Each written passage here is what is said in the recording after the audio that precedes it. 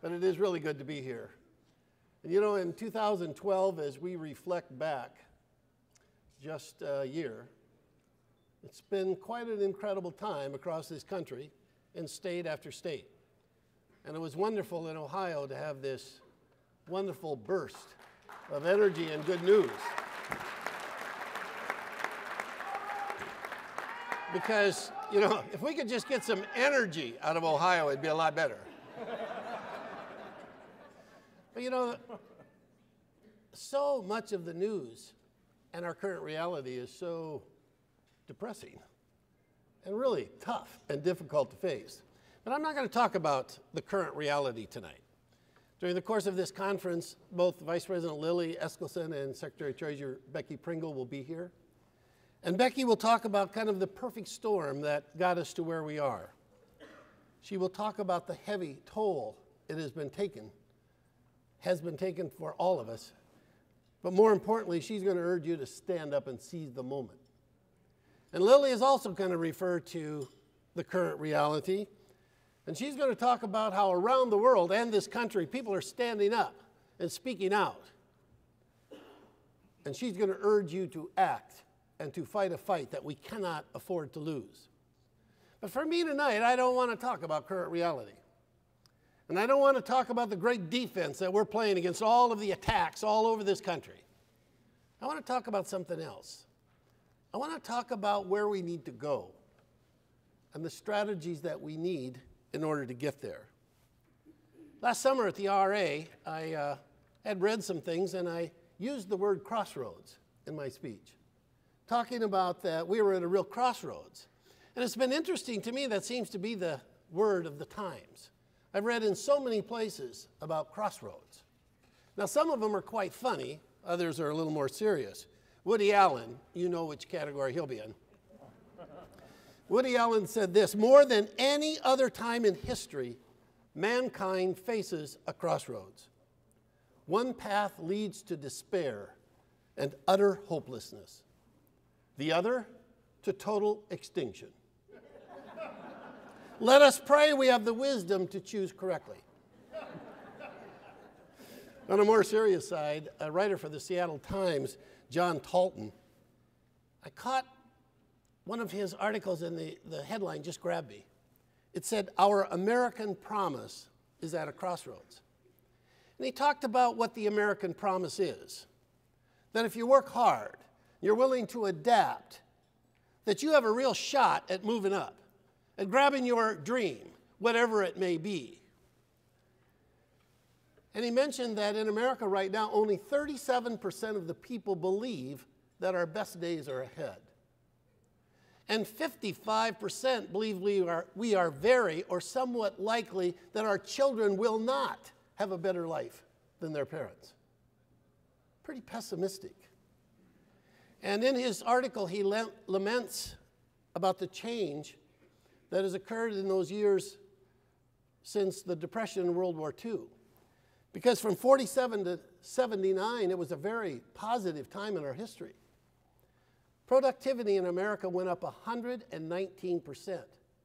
And while that productivity went up 119%, hourly wages went up 100%. They doubled. And if you looked at the lower one fifth of wage earners, their wages went up 122%. And the highest one fifth went up 99%. In other words, it was a time where everyone was succeeding. The tide raises all boats. And when you think in that period from 47 to 79, we have the GI Bill, and we have the Civil Rights Movement, and we have the National Defense Education Act. What a time those 32 years were and what we achieved as a nation. But then he went from 1980 to 2009, 29 years, almost the identical time period. Now, productivity didn't do quite as well, but it still went up 80%. Hourly wages went up 8%. The bottom one fifth, their wages went up 18%. And the top one fifth, if you take out the 1% and leave the rest, theirs went up 65%. But the top 1%, their wages went up 275%. So he was lamenting the change. And see, it's a crossroads, it's a choice. Where do you want to go as a nation? Now, not far from here is the FDR Memorial, one of my favorite in DC. It's unique and different, it's huge. It has three separate areas, one for each of his terms. You know how they always say this isn't carved in stone? This is. What I'm going to tell you is carved in stone. But it was a quote that the first time I was there, I, I didn't want to forget it. I had no pencil or paper, so I snapped a picture of it to make sure I had it. But FDR was talking about America. And he said, The test of our progress is not whether we add more to the abundance of those who have much, it is whether we provide enough for those who have too little.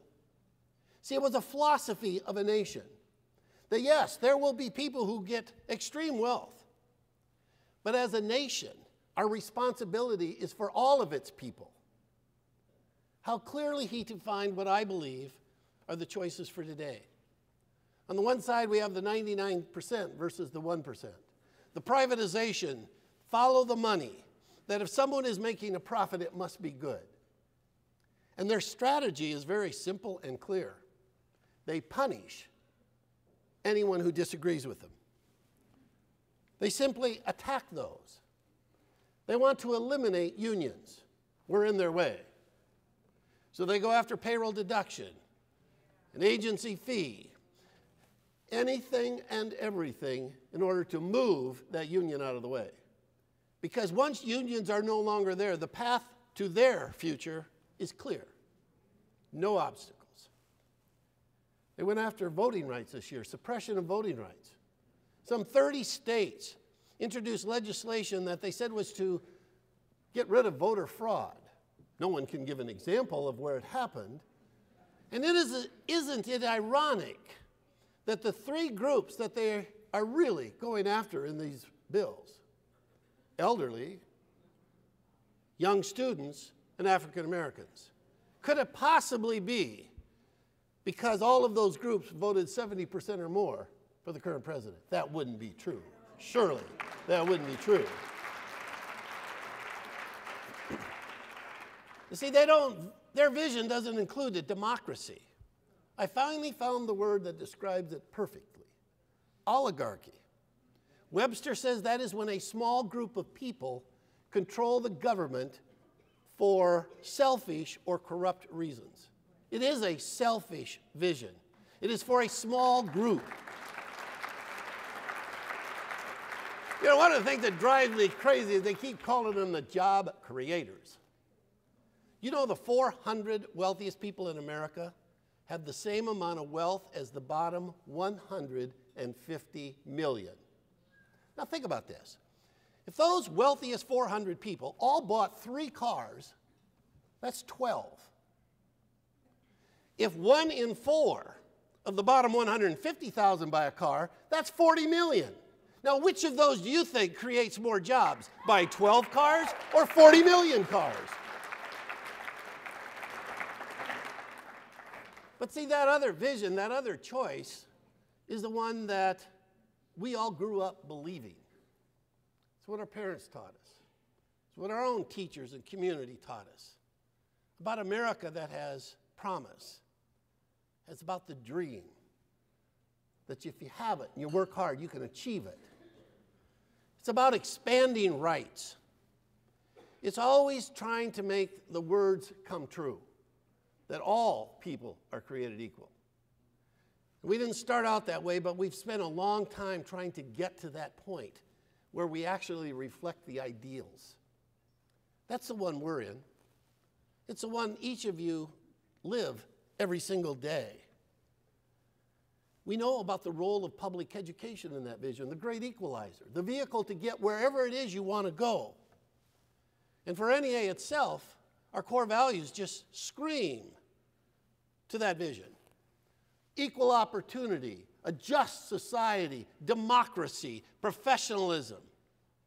See, that is who we are. Now, I'm not going to have a show of hands to say which vision is yours. I already know where you are. In the case one of those top 1% slipped in the room, I won't embarrass them by having them raise their hand. But you know, I know where our values are, but it's not enough to say it. It's not enough to want it. It's not even enough to have good intentions. Because we as an organization, we as individuals will not be judged by our words. We will be judged by our actions and our behaviors. We have to take responsibility. We have to fight for our vision of a great public school for every student. And we must live our mission. We must do that every single day in what we do. And frankly, creating an offense gives me energy. I can tell you there are two places I get more energy and passion than anything. When I think about that office, the first thing I think of is the why of public education. You think back, why did you decide to work in public education? And I don't care what your job is as an adult, it's different in education. You know, if you clean buildings at night, an office building, and no one's there, that's a whole lot different than cleaning an elementary school. My wife is a legal assistant. You know, in all the years she's worked in a law firm, they never ran out of paper. Not once. it's just a different world. So, the why of public education, our belief in that it's the foundation of America and what it does for every child, and my guess is for every single one of us in this room. Because I know I'm standing here not because of the wealth or social prestige of my parents. I'm here because there was a system that said if you believe and you have a dream, there ought to be a way to reach it. And I got to live my dream. I didn't just have a dream, I lived it for 23 years. I decided in seventh grade, and I got to do that. See, so that why of public education, it's not something we just have to say. It's deep down inside. We feel it every single day. It's why you go into those schools where you don't have anywhere near what you need, but you find a way. It's why in Chester Upland, Pennsylvania, the school district says, you know, I'm really sorry, we ran out of money, we can't meet payroll. And the educational support professionals, the teachers, took two motions at a meeting and said, we will continue to come even if you don't pay us, for as long as we can. Because those kids don't have option B. They need to be in school, and we're going to be there. That's the kind of vision of America that we believe in.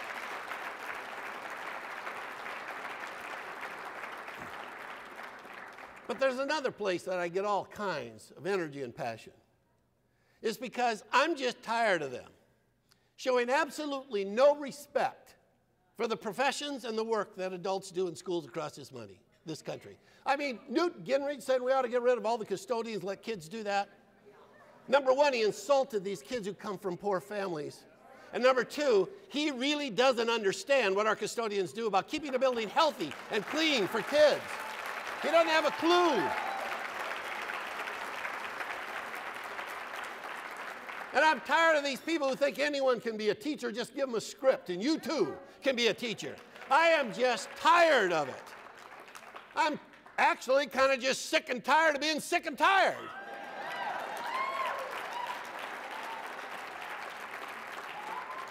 See, for me, it's time to take charge of our future, define our own future instead of allowing someone else to define it for us. We can do this, it's our job. We recently celebrated the birthday of Dr. Martin Luther King Jr. And I was thinking of how the labor movement and the civil rights movement have always been hand in hand. That you can't have one without the other. They depend on each other, and they are both absolutely essential for creating a middle class, for giving dignity to all people. And we will do this together as we move forward. Because you see, we face the possibility of a new society, one with less opportunity, fewer rights, and a greater division than ever before. We face a society with the possibility of having the haves, the have nots, and the never will have. And that is not in our vision of the future. You see, this is not just a democratic struggle, it really is a moral struggle. It's about who you want your country to be. What are the core values of America? It's not profit, it's not money, it's people. It's about just society. That's who we are. And if we want to lead in this effort, we must advocate for more than our members. We cannot only do that. We have to advocate for our students. We have to advocate for our profession, and we have to advocate for social justice in America.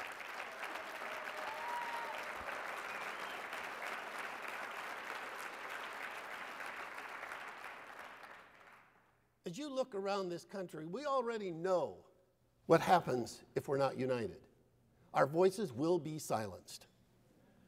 And without collective action, we can't stop the creep of injustice, and we can't stop the diminishment of public education. NEA, we cannot settle for less. We cannot settle knowing that our students need and deserve so much more. And we cannot settle for an America without promise and dreams. We in the NEA have to live our vision. We have to behave every day for that vision. I want to talk to you a minute about what that may look like. What does it mean to lead our profession? I, it's both. It's plural, professions. Because our education support professionals must do the same thing as those of us in the classroom. It's about quality. It's about bringing a value train to what we do that no one else can touch. That's what we have to do. Now, in the profession of teaching, what it means to me, just imagine one whole component about defining who comes into the profession. Right now in this country, we lose 47% of all teachers in the first five years. And then we listen to these people and they say their biggest problem is it's too hard to fire the ones who are left. My answer to them is if that's the situation, I'm telling you, your recruitment, training, and hiring system is totally broken. It doesn't work. You're hiring the wrong people. What we ought to do is make sure that everyone who comes in the classroom is well trained, certified, and licensed. How dare you allow someone in with a class of 30, or this year 45, students who is not licensed? That's not the way it ought to be. We ought to make sure that every teacher is qualified. And you know how you get that? I love it when they talk about recruiting from the top 25%. Oh, I want them to. Because you can't do that if you don't have a compensation system that lifts it all up. You need a compensation system that everybody gets paid well.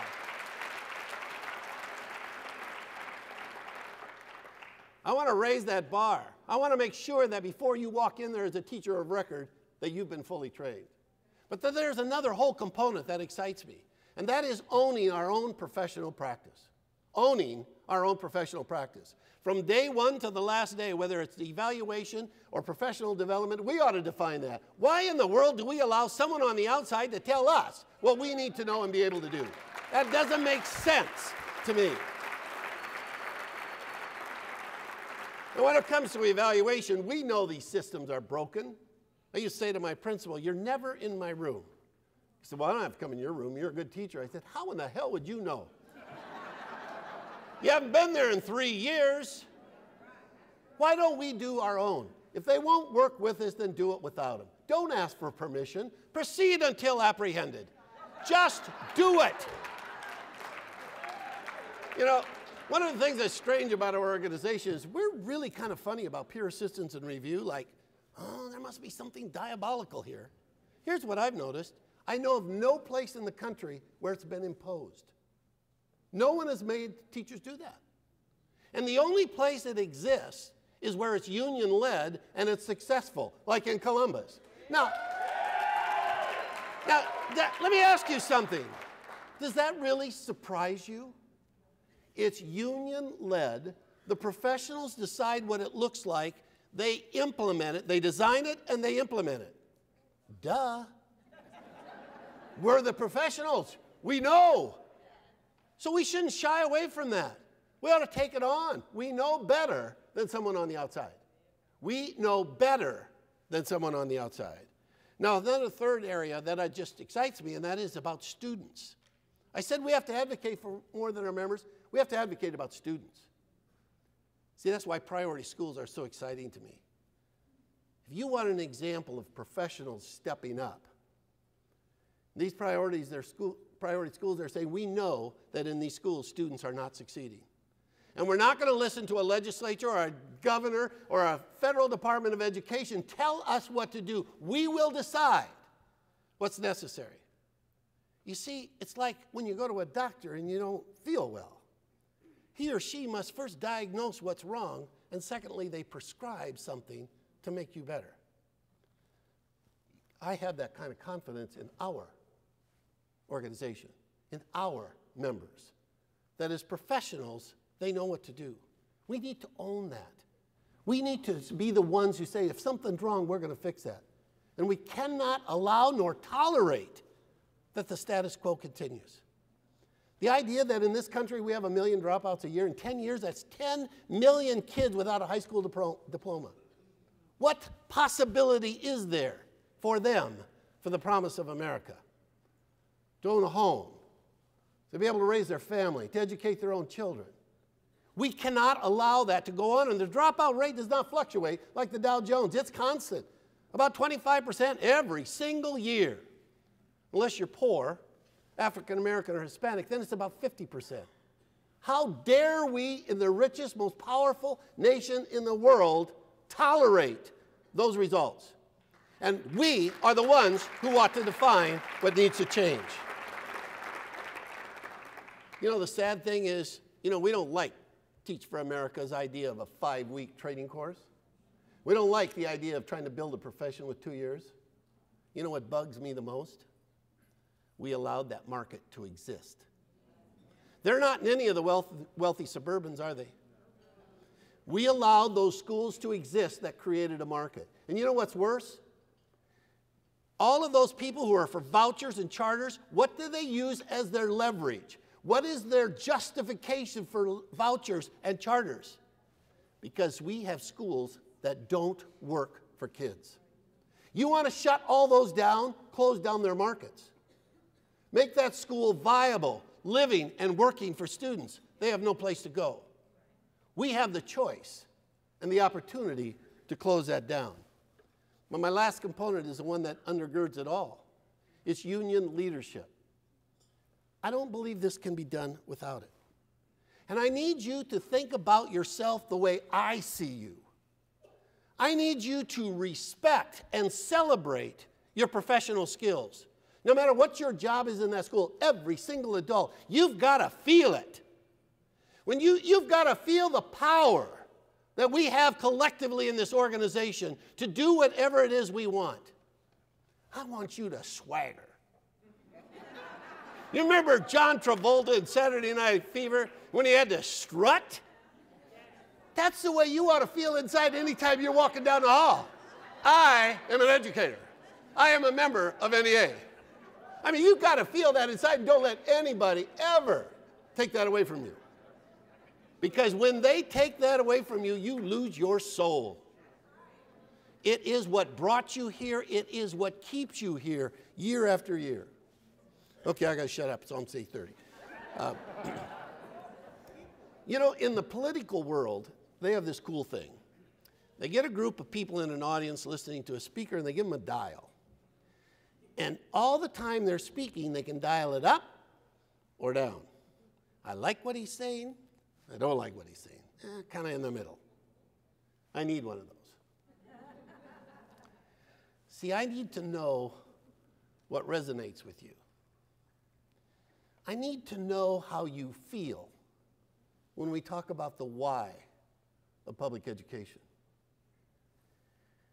I need to know how you feel deep down inside when we talk about the kids who are being left behind, who are being shortchanged, who are being robbed of their future.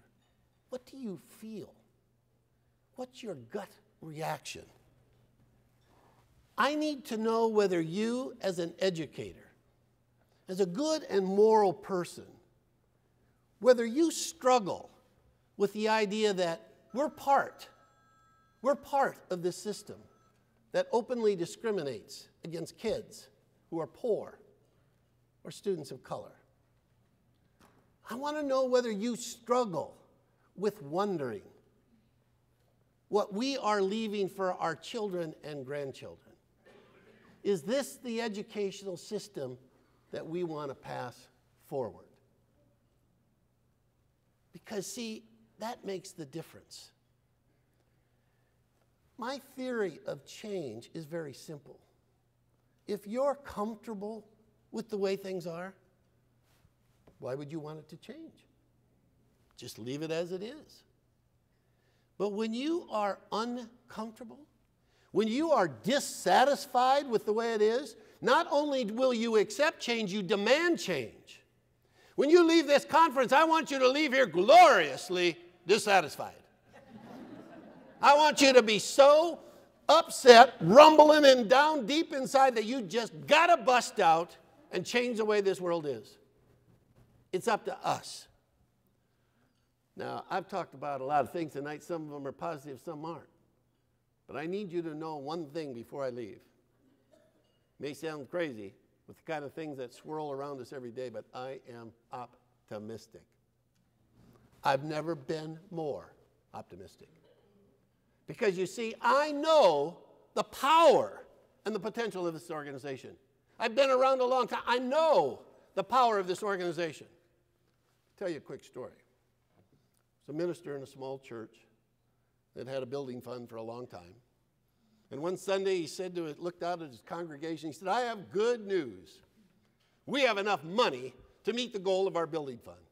And you could just see the smiles in the audience, polite, polite applause. He said, The only problem is the money is still in your pocket. now, see, I know the power of this organization. The problem is it's still in your pocket. And I need you to live it, to believe it, to lead with that power. That's what I need.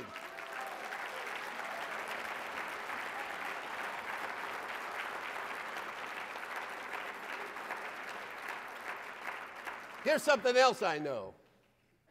I know we are the ones to do this. I mean, I want you to think a minute. If NEA disappeared tomorrow, who do you think could do this? Maybe five governors would get together with a great idea. No, I don't think so. Maybe an enlightened state legislature. Maybe Congress. I mean, where would you go? Name another organization that is in all 50 states plus around the world on military bases. Name, name another organization that is in literally almost every single school district in America that has structure, resources, people, leaders, communication systems, organized buildings and locals and state affiliates and a national. So if it isn't us, I don't know who it could be. And I know right now is the right time. Because if it isn't right now, when would it be? Maybe after the 2012 election. Or maybe we ought to wait till the, the economy just kind of gets up and going a little better. Or maybe we ought to wait till we all retire and we'll let the young people take it over. No, no, no. Today. Today is the day. You know, what do they say? The best time to plant a shade tree? 20 years ago. The second best time? Today. Right now. There's one other thing I know.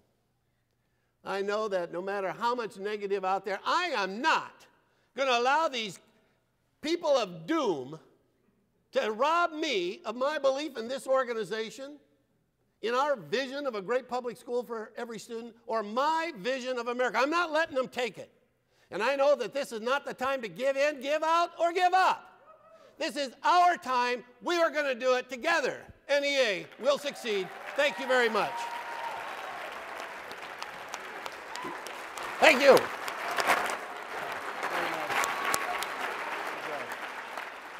Thank you.